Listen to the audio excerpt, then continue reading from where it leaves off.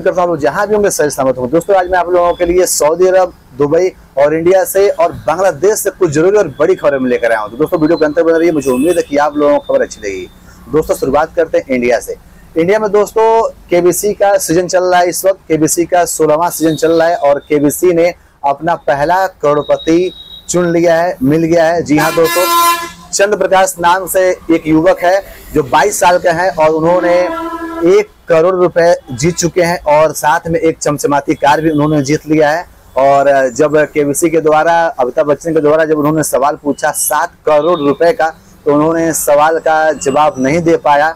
और उसके बाद वह एक करोड़ रुपए और एक चमचमाती कार उन्होंने साथ में लेकर गए हैं। और बहुत ही अच्छी बात है, बहुत खुशी की बात है कि इस बार केबीसी में एक पहला जो करोड़पति है, उसको मिल चुका है। और बहुत बहुत बधाई हो चंद्र प्रकाश जी को जिन्होंने इस बार केबीसी में एक करोड़ रुपए का जीत हासिल की है। दोस्तों एक और बहुत बड़ी खबर निकल के आ रही है बिहार से। बिहार में दोस्तों ज्योतिया का पर्व मनाया गया है। ज्योतिया का पर्व मनाने के बाद दोस्तों जब औरतें जाती हैं स्नान करने न, नदी और नहर बड़े बड़े तालाब में वहाँ दोस्तों लगभग उनतालीस औरतों का मृत्यु हुआ है। और वह केवल ज्योतिया के द्वारा ही हुआ जब उन्होंने गए हैं, जब जब नहाने लोग जाते हैं, उस दौरान दोस्तों डूबने की वजह से उनतालीस औरतों का मृत्यु हुआ है। बिहार में कई जगहों पे यह दर गिनाया गया है। या टोटल कितने लोगों की डूबने से मौत हुई है, यह क्लियर नहीं है, लेकिन उनतालीस लोगों को काउंट किया गया है। और बहुत दुखद घटना है दोस्तों, ऐसा बिल्कुल नहीं होना चाहिए। जिस तरह से जूते का पर्व जितने अच्छे से अच्छे मन से भारत देश में मनाया जाता है और इस तरह से घटनाएँ हो रही हैं, वो बहुत ही दुखद घटना है, बिल्कुल भी ऐसी नहीं होनी चाहिए। तो मैं यही आशा करूँगा कि अब इन फ्यूचर में अगर कभी भी कोई ऐसा पर्व आ रहा है तो उस दौरान जितने भी लोग हैं, लेडीज़, जेंट्स, बच्चे, सभी लोग अपने ध्यान से स्नान करें, नहाएँ, ताकि उन लोगों को कोई भी समस्या बिल्कुल भी ना हो।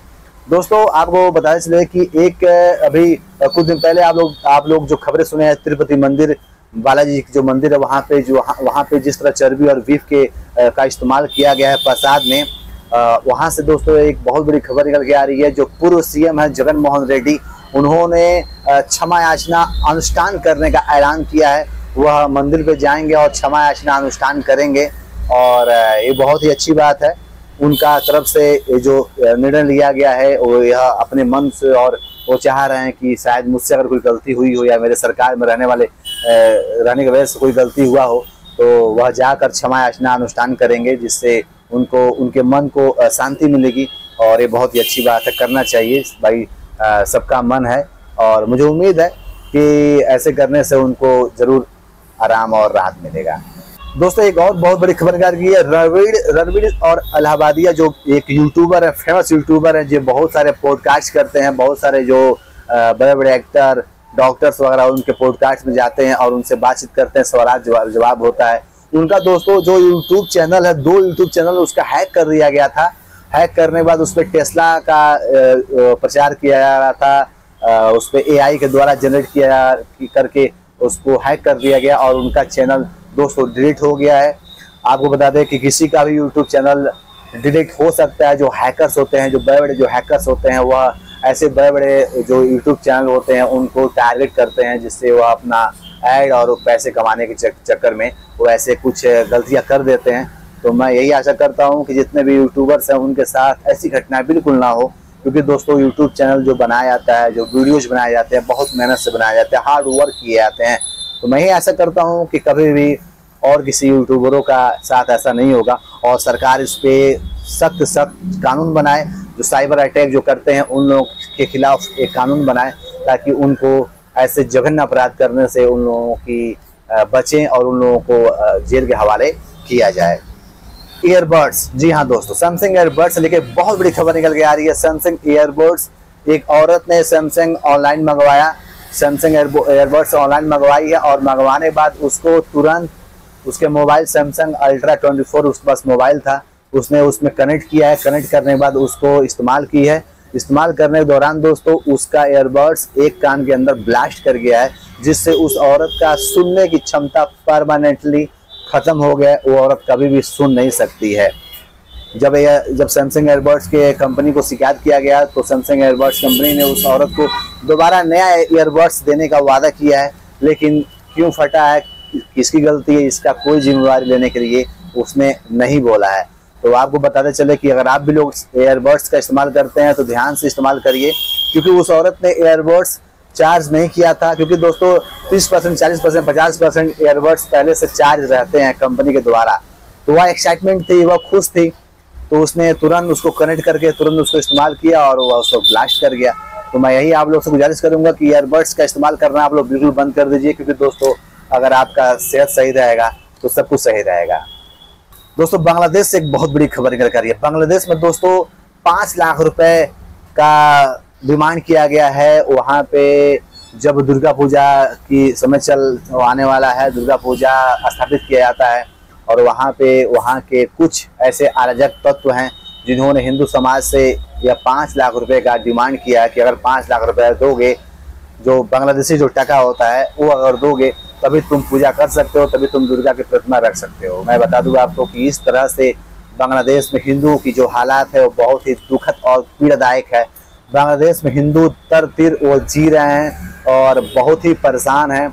जिस तरह से शेख हसीना का जो सत्ता पलटा है और जो नई जो पार्टी जो जो सत्ता संभाले हुए हैं और हिंदुओं की स्थिति मीरपुर में और भी बहुत सारे ऐसे एरिया हैं, वहाँ पे बहुत ही ज़्यादा खराब हो गई है। उन लोगों के साथ मारा जा रहा है, उनकी ज़मीनों को कब्जा किया जा रहा है, उनकी बहन बेटियों के साथ रेप किया जा रहा है, बलात्कार किया जा रहा है। और वहाँ की जो सरकारें हैं, वो मुख दर्शक बनी हुई है और वहाँ पे जो बांग्लादेशी जो हिंदू हैं, वो उस अत्याचार को सह रहे हैं। मैं यही आशा करता हूँ, बांग्लादेश सरकार के से वह जल्द से जल्द इस पर कड़े फैसले लेगी और ऐसे जो अपराध करते हैं, उन लोगों के खिलाफ कानूनी कार्रवाई करके उनको जेल के अंदर डालेगी और ऐसे अपराधों, अपराध करने वाले लोग कांपेंगे, ऐसी गलती कभी भी नहीं करेंगे।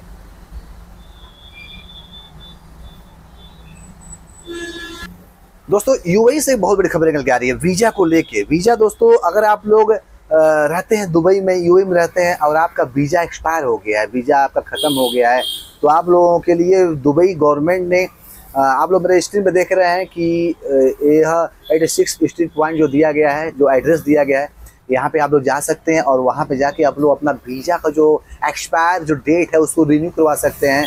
और अगर आप लोग चाहते हैं वापस घर आना तो यहाँ के माध्यम से आप अपने घर आ सकते हैं वीज़ा रिन्यू करवाने के बाद। उस ऑफ़िस पर जाइएगा, आपका सारा काम होगा। दुबई गवर्नमेंट ने ये बहुत ही अच्छी पहल की हुई है, क्योंकि दोस्तों बहुत सारे लोग जाते हैं दुबई घूमने के लिए या काम के पर्पज़ से जाते हैं लोग तो वहाँ वो लोग ध्यान नहीं देते हैं और उनका वीज़ा एक्सपायर हो जाता है, जिससे आप लोग जानते हैं अगर आपका वीज़ा एक्सपायर हो गया है और सऊदी अरब में या दुबई में या गल्फ विदेशों में कहीं भी अगर आप रहते हैं तो उस दौरान दोस्तों आपका जो फाइन है वो आपको भरना पड़ेगा। तो इसी तर्ज पे दुबई हुकूमत ने यह ऐलान किया हुआ है कि अगर किसी का वीज़ा एक्सपायर हो गया है और वह घर जाना चाहता है, चाहे रेजेंसी हो, जो काम कर रहा है वहाँ पे, चाहे आप टूरिस्ट वीज़ा पे आए हुए हैं, अगर ऐसी कुछ हालात या समस्याएँ आपके साथ हैं तो आप तुरंत से तुरंत जाकर वीज़ा का अपना रिन्यू करवाइए और वापस अपने मुल्क लौट जाइए। तो बहुत अच्छी पहल है दोस्तों, अगर आप लोगों की ऐसे, के साथ ऐसी कोई समस्या है तो आप लोग तुरंत जाइए और अपना वीज़ा रिन्यूअल ज़रूर करवाइए। Digital visitor card service, digital visitor card service. जी हाँ दोस्तों, सऊदी हुकूमत ने एक बहुत बड़ा ऐलान किया है।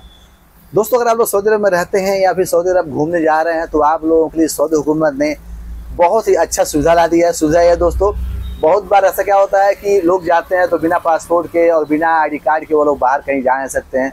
अगर घूमने जा रहे हैं तो आपके पास पासपोर्ट होना ज़रूरी है। अगर आप लोग वहाँ काम करते हैं तो आप आपके पास वहाँ का जो कार्ड होता है, इकामा बोलते हैं, वह बहुत ज़रूरी है। लेकिन दोस्तों सऊदी हुकूमत ने ऐलान कर दिया है कि डिजिटल विजिटर आईडी कार्ड जिसके माध्यम से सऊदी में आप कहीं भी घूम सकते हैं, चाहे वहाँ काम करते हैं, चाहे आप वहाँ घूमने गए हैं। दोस्तों, यह एक छोटा सा कार्ड रहेगा जिसपे आपके फिंगरप्रिंट और आपके आँख की रेटिना से उसको एक्टिवेट किया जाएगा और उस कार्ड की वजह से वजह से आप पूरे सऊदी में कहीं भी जा सकते हैं। आपको किसी अन्य या और कोई पेपर वर्क साथ में लेकर जाने की ज़रूरत नहीं पड़ेगी पेपर वर्क करने की ज़रूरत नहीं पड़ेगी पासपोर्ट इकामा आई डी प्रूफ कुछ भी ज़रूरत नहीं है केवल आपका वो जो डिजिटल रजिस्टर आईडी कार्ड जो सर्विस है उसी की वह साथ में रहेगा तो आपको कहीं भी किसी प्रकार की कोई समस्या नहीं होगा।